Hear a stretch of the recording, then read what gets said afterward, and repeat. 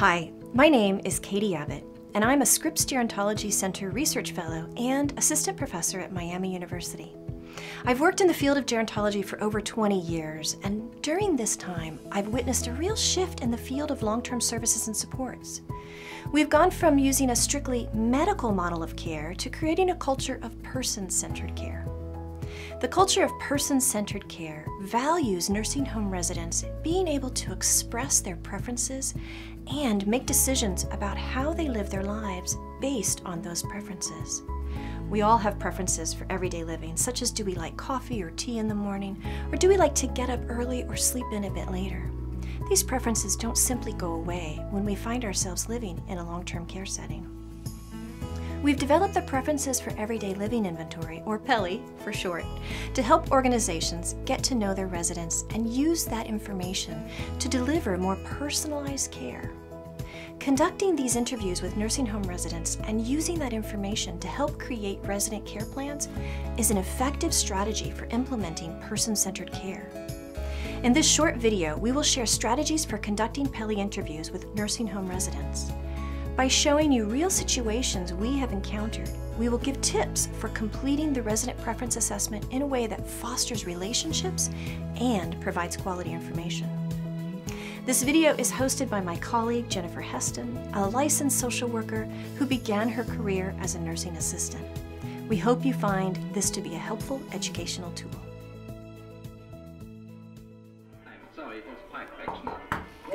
Mrs. Jones. Hi. How are you doing today? Fine. Just watching an old movie.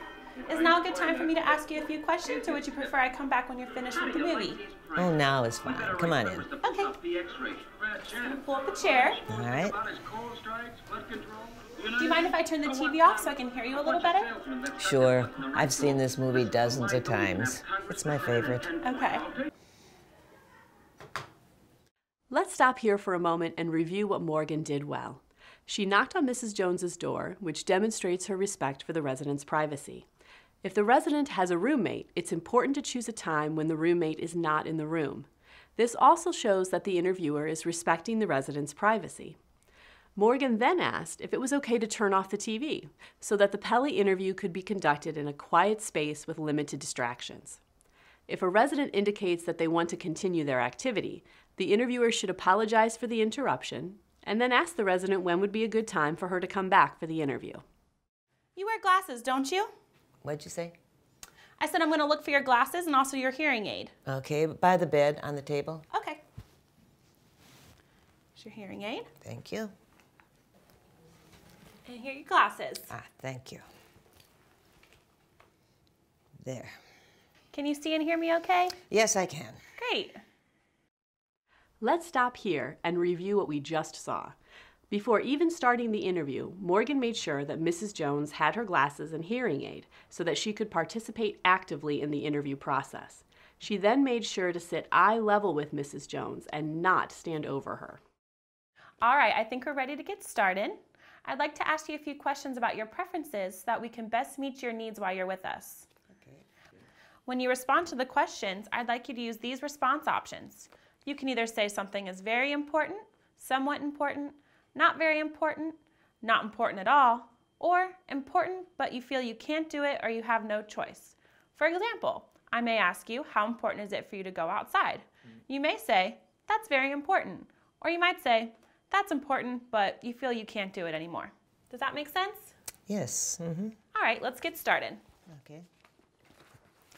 The first question I have is, how important is it to you to choose what name you'd like me to use when I greet you? Well, my name is Geraldine, but I like to be called Jerry. And would you say that's very important or somewhat important? Very important. Okay. Thank you for sharing that with me. I'll be sure to call you Jerry from now on. I like to be called Morgan. Okay, that's great. You know, no one's ever asked me that question before. Really? Mm-hmm. Well, thanks for sharing. Yeah. The next question is, how important is it to you to In this when get up section, in? Morgan is engaged and listening to what Mrs. Okay. Jones, Jerry, is saying. She asked the follow up questions when is it for Jerry you to follow indicated that a particular preference was of importance to her, and skipped to the next question when an activity was not. This is a great example of how a PELI interview with a resident should go. However, we've seen interviews that don't always go this well for a variety of reasons. For the remainder of this training video, we'll illustrate some ways that the PELI interview can be difficult for both resident and interviewer, and offer examples for how the process can become a relationship building opportunity. Jerry, how important is it to you to participate in religious services or practices? That's not too important. Really? I'm surprised. God is everything to me. Oh, I guess religion is important. Good. I knew you had to be a religious person. You're too nice not to be. In this instance, Morgan placed judgment on the resident for saying that religion was not important to her. After sensing this, Jerry changed her answer to meet Morgan's expectations. The goal of conducting PELI interviews is to gain a better understanding of residents' important preferences so that the organization can try to meet them as much as possible, a hallmark of person centered care. An interviewer should work hard not to put words into the residents' mouths or lead them to answer questions in any particular way. People can sense when interviewers are passing judgment on them or looking for a specific answer. In response, they may change their answers to please the interviewer. If residents don't feel comfortable sharing their preferences, then the purpose of the PELI interview is completely lost. Now you will see an example of how an interviewer could respond when he or she does not share the same preference as a resident. How important is it for you to participate in religious services or practices? That's not too important to me. Okay. How important is it to you to participate in your cultural tradition? As you can see in this example, Morgan asked the question, listened to Jerry, marked down the correct answer choice, and then proceeded to the next question. Here you can't tell that the interviewer doesn't share the same preference as the resident. Next, you will see an example of asking PELI questions that may be perceived as sensitive or personal. You know, this next question is really personal, and I know I wouldn't want to answer it, but I have to ask it anyway. How important is it to you that your daily caregiver knows your needs when going to the bathroom? That is a personal question. Why do you have to ask something like that? You're right. Let's move on. There are questions on the PELI that may be perceived as very personal or sensitive, such as questions about going to the bathroom or who is involved in the resident's medical care. In this example, Morgan introduces the question by saying she wouldn't want to answer it. By doing this, she undermines the purpose of the PELI. When Jerry hesitates, Morgan just moves on. Here is an example of how you can present potentially sensitive or personal questions. Jerry, how important is it to you that your daily caregiver knows your needs when going to the bathroom? Well, that's quite a personal question. Why do you need to know that? I know it's a personal question, but your answer to these personal questions will really help us take better care of your needs while you're with us. Besides, we all have to go to the bathroom, right? That's true. Well, then I suppose it is somewhat important. And what would you like your daily caregiver In to this know instance, needs Morgan approached the question with a neutral attitude and tone. When Jerry expressed concern over the personal nature of the question, Morgan assured her that the question is being asked so that the care team can better meet her needs. Of course, residents can always refuse to answer questions if they wish to, even if the interviewer provides a clear explanation for why the question is being asked. Next, we'll look at a situation when a resident may become sleepy during the interview. How important is it for you to be around animals such as pets? Jerry, how important is it for you to be around animals such as pets? I really wanted to get this done today. This is an example of how not to respond to a resident who is tired and sleepy. In this case, it's simply best to make a note of your place in the PELI interview and come back at another time. Let's see an example of how an interviewer can use a better approach. Okay, how important is it for you to be around animals such as pets? Jerry, how important is it for you to be around animals such as pets? It looks like you're getting tired now.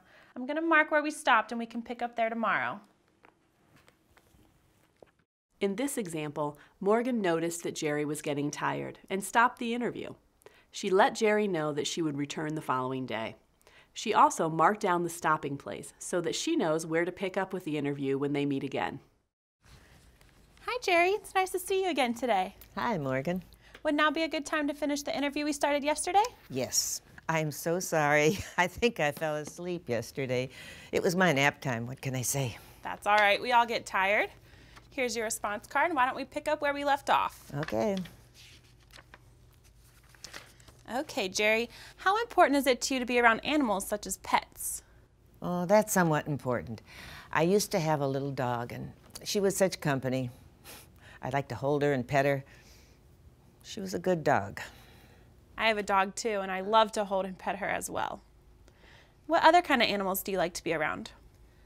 Well, mostly dogs. Um, cats make me sneeze. And what other types of contact do you enjoy with animals? Just holding and petting. Okay. How important is it to you to have regular contact with friends? Um, they're all dead. Oh. I'll mark not very important. Let's move on to a happier question. In this example, a question was asked that made Jerry feel emotional, which made Morgan feel uncomfortable. She wants to rush on to the next question to avoid the emotional response from Jerry. By marking down not very important, Morgan is putting words in Jerry's mouth, and now the resident does not get to fully answer and reflect on the question. Let's see how this type of response could be approached differently. How important is it for you to have regular contact with friends? Uh, well, they're all dead. Oh, I'm so sorry to hear that. Yes, they passed away a couple years ago, and oh, we used to have such good times together. Dinners out and card games. Oh my. I'm the only one of the group left. Sounds like you had great memories with them. Mm -hmm. I know you miss them, but is there anyone here that you enjoy regular contact with? Well, I, I know Genevieve and Iris down the hall. And how do you like to stay in contact with them?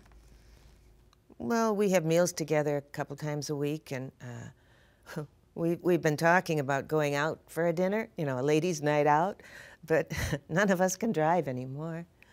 Well, I'm sure we could arrange something. You could? That would be wonderful. In contrast to the previous example, Morgan listened carefully to the resident and immediately noticed that she was becoming sad. Instead of rushing on to the next question, Morgan allowed Jerry time to reflect on her past friendships. She then moved on to get some more information about who Jerry enjoys regular contact with now. As an interviewer, you may sometimes be uncomfortable because you feel as if you're upsetting the resident with your question. That is a perfectly normal feeling, and it's not your fault. It's your role to listen to the residents' responses and record what they say. In the next example, we will learn how to respond when a resident indicates that an activity is important, but they can no longer do it. My next question is, how important is it to you to take care of the place where you live? Well, that's important, but I can't do it anymore. That's too bad. I mean, I, I feel like almost like I have nothing to do. Well, on to the next question. How important is it that you go outside to get fresh air? When this was a good? missed opportunity to engage with the resident and learn why she felt she could no longer do the activity. Morgan just accepted what Jerry said and didn't explore additional information. She could have asked the follow up questions before proceeding.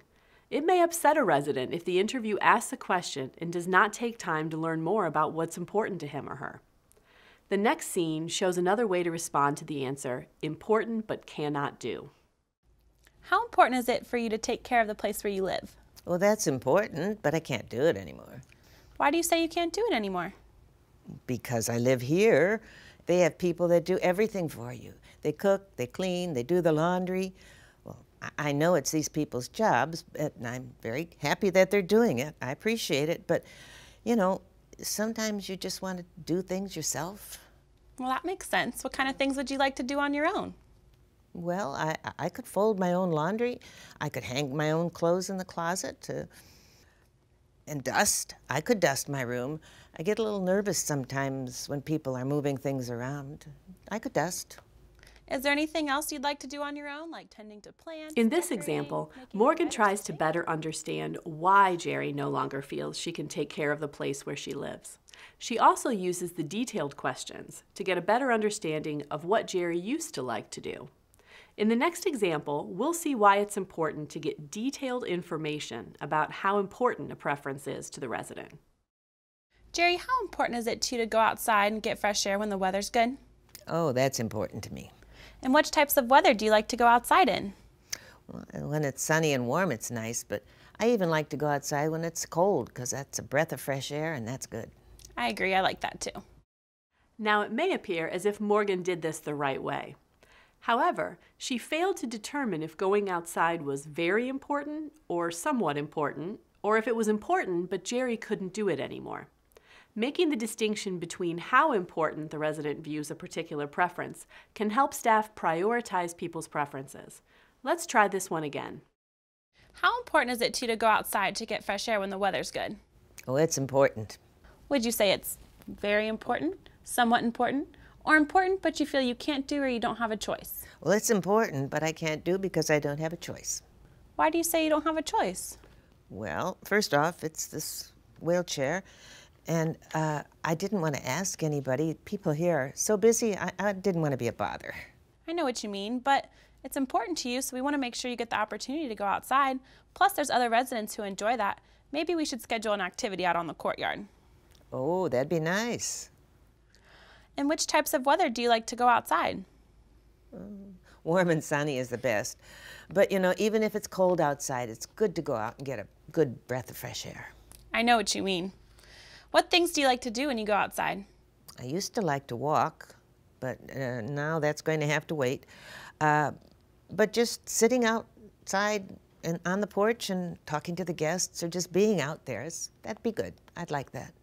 And how many times a week do you like to go outside? Every day would be nice. I, I don't suppose that's possible, but it'd be nice. Well, I'll be sure to make a note of that and let the team know. Next time I head outside for some fresh air, I'll come down and see if you want to join me. Oh, that'd be great. Thank you. As you can see from this example, getting clarification between very important, somewhat important, and important but having no choice provides detailed information that would otherwise not be collected. For instance, by taking the time to learn that going outside is important to Jerry, but she feels like she has no choice, Morgan has some key information to share with the care team. Knowing this information will help them come up with ways to make sure Jerry can go outside on a regular basis. In addition, this example illustrates how the PELI interview can help providers and residents establish relationships. Here, Morgan let Jerry know that she also enjoys going outside. The last example we have for you today is how to finish a PELI interview. So it looks like these are the last questions I have for you today. How important is it for you to do your favorite activities? That's very important. I know we already talked about some of those activities today, but what are your favorite activities? Well, like I said, I, I like to keep my room, and uh, going outside is, is good. Is there anything else you like to do that we haven't talked about today? Well, I used to be an artist, but I don't have my art supplies with me. I don't know if I can even paint anymore. It's been a long time. We do have some arts and crafts activities here. Do you think you would enjoy that? Uh, mm, maybe. Uh, no, actually, I like using my own art supplies, so no. Well, maybe we could contact your daughter and see if she would be willing to bring in some of your personal art supplies. It's a great idea. My daughter liked painting too. At least she used to. Maybe we could paint together when she comes the next time. Hmm. That sounds like a great idea. Is there anyone else you like to do activities with? No, just painting with my daughter. Okay. So I'm all out of questions. Thank you for spending time with me. It was really great to get to know you. Thank you. I enjoyed it too. In this final example, Morgan thanked Jerry for her time and let her know that she enjoyed getting to know her better. At the end of a PELI interview, it's very important for the interviewer to thank the resident for his or her time and reassure the resident that the information will be used to provide care that better meets his or her preferences. So let's review some key tips for conducting a successful PELI interview. First, be sure to have all of the supplies you need before you ask a resident if it's okay to conduct the PELI interview with him or her. Regardless of the method you use to collect information from a resident, be sure to have a printed copy of the response options in large print available for the resident to use during the interview. Next, locate the resident that you would like to interview and introduce yourself. Then ask the resident if it's a good time for him or her to sit down with you and answer some questions.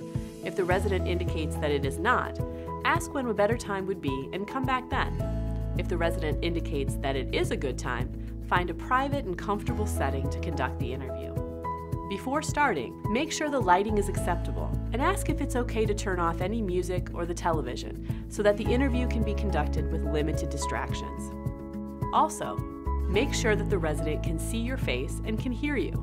This is a good time to check and see if the resident has his or her glasses or hearing aid. Follow the instructions on the first page of the PELI assessment, and now you are ready to begin. When conducting the PELI interview, it helps to be patient and allow the resident time to collect his or her thoughts and explain their preferences to you. If you feel rushed, the resident will too.